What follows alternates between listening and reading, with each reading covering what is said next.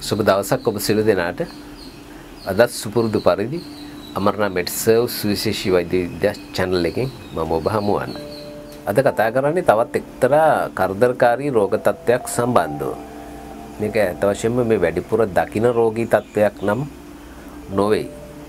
නමුත් සමහර උදවිය ඇවිල්ලා මේ ගැන කතා කරනු සමහර උදවියට බෙහෙත් කළත් මේකේ සුවයක් එන්නේ හරිම කරදරකාරී. අපි එම තත්ත්වය මොකක්ද කියලා බලමු. එම තත්ත්වය තමයි මේ ගුද මාර්ගය. ගුද මාර්ගය කසන එක. අපි මේකට ඉංග්‍රීසියෙන් කියනවා ප්‍රූරයිටස් A9 කියලා. ඒ විදිහට තමයි කියන්නේ. මේ ගුද මාර්ගයේ කසනවා. ඉතින් මේ ගුද මාර්ගයේ කසනවා කියනකොටම ඔළුවට එන්නේ පණුව අමාරුද කියලා තමයි ගොඩක් අයට. හැබැයි මෙම තත්ත්වයේ තියෙන උදවිය පණු බෙහෙත් බොනවා නිතර. සමහරට සති දෙකෙන් දෙකට බොනවා. පණු බෙහෙත් වර්ග මාරු කරලා බොනවා. වෛද්‍යවරු ගණනාවක් ළඟට යනවා. වෛද්‍යවරු මාරු කර කර යනවා. නමුත් සුවයක් නැහැ. ඉතින් ගොඩක් අය හිතන්නේ මේ පණුව අමාරුව තියෙන්නේ සුව වෙන්නේ නැහැ කියලා. අපි දන්නවා මේ පණුව අමාරුව තිබ්බොත් ගොඩක් වෙලාවට මේ කසන්නේ බොහෝ දුරට හවස් යාමේ. එහෙම නැත්නම් රැට. එහෙම නැත්නම් පාන්දර. අපි දන්නවා මේ කිරිපණුව අමාරුව තමයි ගොඩක් අයට තියෙන්නේ මේ ගුද මාර්ගයේ කසනකොට. ඒ මොකද ඒ පණුව එළියට ඇවිල්ලා යාවට බිත්තර දානවා. උන්ගේ ඒ හැසිරීම නිසා තමයි ඒ පණුව අමාරුව නිසා කසන ගතිය එන්නේ. නමුත් අපි කතා කරන්නේ අද මේ පණුව අමාරුව නිසා එන කසන ගතිය නොවේ. මොකද පණුව අමාරුව නිසා කසන ගතිය එනවා නම් පණු බෙහෙත් බිව්වම සැරයක් දෙසරයක් බොනකොට ඒක සුව වෙන්න ඕනේ. නමුත් මේක එහෙම නොවේ. මෙතන තියෙන්නේ පණුව අමාරුවක් නෙමෙයි වෙනත් හේතුවක්. වෙනත් හේතු ගණනාවක් තියෙනවා. අපි බලමු එකට හේතුවන කරුණ මොනවද කියලා. ඉති මේ ගොඩාදුරට මේ ගුදමාර්ගය කැසීමට හේතු වෙනවා මේ දියවැඩියාව කියන රෝගී තත්ත්වය මේ දියවැඩියාව කියන රෝගී තත්ත්වය තියෙන උදවිය කරන පැමිණිල්ලත් තමයි මේ ගුදමාර්ගය කැසීම. ඉතිං අර කලින් කිවෝගේ ගොඩක් අය කරන්න පණු බෙහෙත්ම බොන එක නමුත් මෙතෙන්දි එහෙම නොවෙයි සිද්ධ වෙන්නේ මෙතෙන්දි වෙන්නේ අර ස්නායිවල ගැටලුවක් නිසා තමයි මෙම තත්ත්වය එන්නේ. හැබැයි මෙතන තවත් දේවල් සිද්ධ වෙන්න පුළුවන් ගොඩක් වෙලාවට මේ ගුදා මාර්ගය ආශ්‍රිතව දිලීර ආසාදන එන්න පුළුවන්. අපි කියනවා ෆංගල් ඉන්ෆෙක්ෂන්ස්. ඒ වගේම ඊස්ට් ආසාදන. ඊස්ට් කියලා කියන්නේ මේ දිලීර ගණයට වැටෙන ආසාදනයක්. එතකොට අපි කියනවා මේ කැන්ඩිඩයිසිස් කියලා රෝගී තත්ත්වයක් තියෙන්නේ. අනේ වගේ. එතකොට මේ දිලිර ආසාදන ගුද මාර්ගය ආශ්‍රිතව තියෙන්න පුළුවන්. ගොඩක් වෙලාවට අපි දන්නවා ගොඩක් උදේට මේ ඉක්ලි කසන ගතිය තියෙනවා. ඒ වගේ යෝනි මාර්ගයේ කසන ගතිය තියෙනවා. ශිෂ්ණේ පෙරසම කසන ගතිය තියෙනවා. ඒ වගේම ඒවා ඇති වෙන්නේ දිලිර ආසාදන නිසා.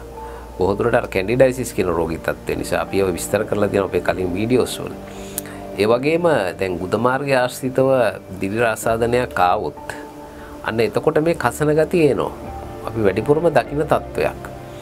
ඒ වගේම ගුද මාර්ගාසිය දිලිර ආසාදනය එන්න පුළුවන් හේතු ගණනාවක් තියෙනවා. එකක් තමයි හැමතිස්සෙම මේ සබන් වර්ග විශේෂයෙන්ම සැර සබන් වර්ග පාවිච්චි කරොත් නිරන්තරයෙන්ම ඕනට ඉදි පිරිසුදු කරන්න ගියොත් අන්න දිලිර ආසාදනය එනවා ගුද මාර්ගය ආශ්‍රිතව. ඒ වගේම ගුද මාර්ගය ආශ්‍රිතව යම් යම් ලිංගික කටයුතු සිද්ධ කරන අය වෙනත් උපකරණ ඇතුල් කරන යන්න එතකොට දිලි රාසාදන එන්න පුළුවන්. එතකොට ඔන්න ඔය තත්ත්වය ඇති වෙන්න පුළුවන්. ඒ වගේම අපි කියනවා මේ ඇලර්ජික් රියැක්ෂන්ස් සමහරවිට ඇඟේ ඇලර්ජිස් තියෙනවා. ඒ ගැනත් අපි අපේ වීඩියෝස් කරලා තියෙනවා ඇලර්ජිස් ගැන. ඇලර්ජික් රියැක්ෂන් එකක් විදිහට ගුද මාර්ගය ආශ්‍රිතව කසන ගතිය එන්න පුළුවන්. ඒ වගේම තවත් සමේ රෝග තියෙන උදාහරණයක් වශයෙන් සඳහන් කරනවා මේ සොරයසිස් කියන රෝගී තත්ත්වයේ තිබුණොත් අන්න එතකොට ගුද මාර්ගය ආශ්‍රිත කැසීමක් ඇති වෙන්න පුළුවන්. තවත් වයසක උදවී ඉන්නවා ගොඩක් වෙලාවට මේ ගුද මාර්ගය ආශ්‍රිතව අපි කියනවා ෆීකල් ඉන්කොන්ටිනන්ස් කියලා. ඒ කියන්නේ ගුද මාර්ගය ආශ්‍රිත තියෙන වැල්ව් එකේ තද ගතියක් නැහැ. හැමතිස්සෙම අර මල ලීක් වෙනවා එළියට එනවා. අන්න එතකොට එතන ප්‍රදාහයක් ඇති වෙලා අපි කියනවා ඉන්ෆ්ලැමේෂන් එකක් ඇති වෙනවා කියලා. අන්න එතකොටත් මෙම තත්ත්වය ඇති වෙන්න පුළුවන්.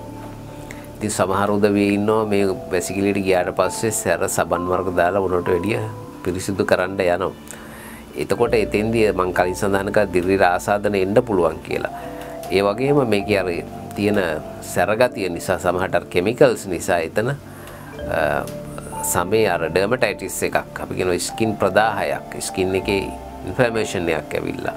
එතනට දිලිර ආසාදන නොවේ මේ ප්‍රදාහයක් ඇවිල්ලා එතකොටත් මේ කසන ගතිය ඇති වෙන්න පුළුවන්.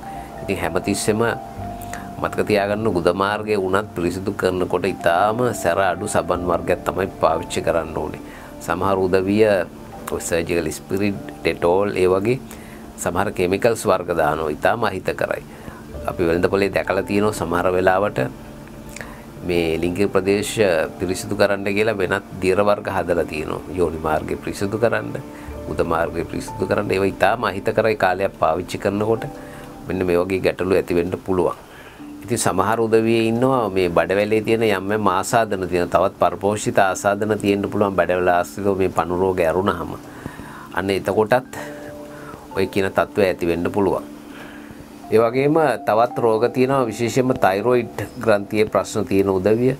ඒ වගේම අර්ස සමාව තියෙන අයට අපි කියන හිමරොයිඩ්ස් තියෙනකොට ඒ වගේම ගුද මාර්ග ආශ්‍රිතව ගෙඩි වර්ග පිළිකා වර්ග තියෙනකොට අන්න එතකොටත් ගුද මාර්ග ආශ්‍රිතව මේ කැසීම ඇති වෙන්න පුළුවන්. ඉතින් ගුද මාර්ග ආශ්‍රිතව කැසීමක් ඇති වෙනවා නම් බොහෝ දුරටම අපි හේතුව සොයන්න ඕනේ විශේෂයෙන් මේ ආශ්‍රිතව ඉස්සර නිරීක්ෂණය කරන්න ඕනේ. ගුද මාර්ග ආශ්‍රිතව මොකද්ද තියෙන්නේ කියලා අපිට PVSින් බලන්න පුළුවන්. PVSින් බලපුවහම දෙයක් පේන්නේ නැත්නම් අපිට ඊළඟ ස්ටෙප්ස් වලට යන්න පුළුවන්. අපිට ගුද මාර්ගය අපි කියන ප්‍රොක්ටොස්කෝප් කියලා අපිට තියෙන පොඩි උපකරණයක් දාලා බලන්න පුළුවන්. ඒක සාමාන්‍ය සායනයකත් කරන්න පුළුවන්. ප්‍රොක්ටොස්කෝප් එකක් දාලා බලන්න පුළුවන් මොනවා හරි ගැටලුවක් පේන හරි එක තියෙනවද කියලා. ඉතින් ඊට එහාට යනවනේ එන්ඩොස්කෝපික් පරීක්ෂණ තියෙන්නේ සිග්මොයිඩොස්කෝපි කොලොනොස්කෝපි ඔන්න වගේ දේවල් ඒ වගේ දේවල් අවශ්‍ය වෙන ඉතා කලාතුරකින් ගොඩක් දුරට පරීක්ෂා කරන්න. නමුත් ගුදමාර්ගයේ ආශ්‍රිතව අපිට සාමාන්‍ය සරල පරීක්ෂණ වලින් නිගමනයකට එන්න පුළුවන්. ඒ වගේම ওই කියන එක තත්වයක්වත් නැතුව ගුදමාර්ගය මේ කසනවා කියලා සමහර උදවිය කියනවා. ඇත්ත වශයෙන්ම මේ අවස්ථාව උදා වෙන්නේ බොහෝ දුරටම මේ සයිකොලොජිකලි ඒක මානසික ගැටලුවක් විදිහට. එහෙමත් උදවියේ ඉන්නවා. අන්න එවැනි වෙලාවකට අපිට මේ මනස හදන බෙහෙතක් මනසට බෙහෙතක් දුන්නාම අන්න රෝගී තත්ත්වය සම්පූර්ණයෙන්ම සුව වෙලා යනවා.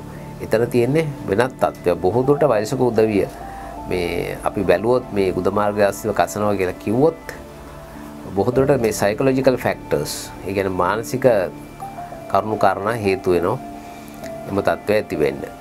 ඉතින් මෙම තත්ත්වය ඇතිවීම වලක්ව ගන්න නම් ඉතින් කරුණු කාරණා හොයලා එකට බෙහෙත් කළාම ගොඩක් දුරට හරියනවා. බෙහෙත් කරන ගමන් Tamanටත් කරන්න පුළුවන් දේවල් කීපයක් තියෙනවා. එකක් තමයි මම දැන් කලින් සඳහන් කළා අර සැර දේවල් පිරිසිදු කරන්න භාවිතා නොකරන එක. ඒක පිළිපදින්න ඕනේ. ඉතින් නමුත් අපි දන්නවා වැසිලිටි ගියාම යම් කිසි මට්ටමකට පිරිසිදු කිරීම සිද්ධ කරන්න වෙනවා. ඉතින් බොහෝ දුරට තාම සැර අඩු විශේෂයෙන්ම ඔය සුවඳ විලවුන් වගේ දේවල් කවල නැති ඒ වගේම ඔය විසබීජනාශක දීර කියලා ඒ වගේ දේවල් නැති බොහොම මෘදු දෙයක් තමයි පාවිච්චි කරන්න ඕනේ පිරිසිදු කරන්න.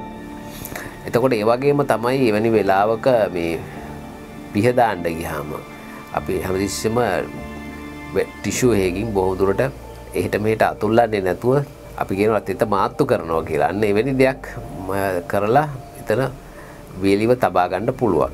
ඒ වගේම යම්කිසි ආලේපන වර්ග භාවිතා කරන විශේෂම දිලීර ආසාදනයක් තියෙනවා නම් භාවිතා කරන්න පුළුවන් ඒ දිලීර නාශක ක්‍රීම් වර්ග. එහෙම නැත්තම් මොනවත්ම නැත්තම් අර වැසින් වගේ දෙයක් ආලේප කරන්න පුළුවන්. එතන තියෙන ඉරිටේෂන් එක අඩු කරන්න.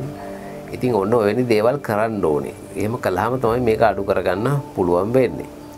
ඉතින් මෙතෙන්දි මේ ගුදමාර්ගය ආශ්‍රිත තියෙන කැසීම ඇත වශයෙන්ම හරිම මේ කරදරකාරී. මොකද මේකේ තදබල අවශ්‍යතාවයක් කෙනවා තදබල ඒජ් එකක් කෙනවා කසන්නම.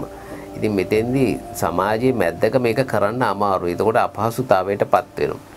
ඉතින් ඒකත් එක ගැටලුවක් ගොඩක් අයට මේ කසන එක පිරිසක් ඉදිරියේ කසන්න වුණොත් එම අපහසුතාවයට පත්වීම ඉතින් කෙසේ වුණත් අවසාන වශයෙන් කියන්න තියෙන්නේ මෙම තත්ත්වය සුව කරගන්න පුළුවන්. හොඳින් නිරීක්ෂණය කරලා හේතු හොයාගත්තට පස්සේ.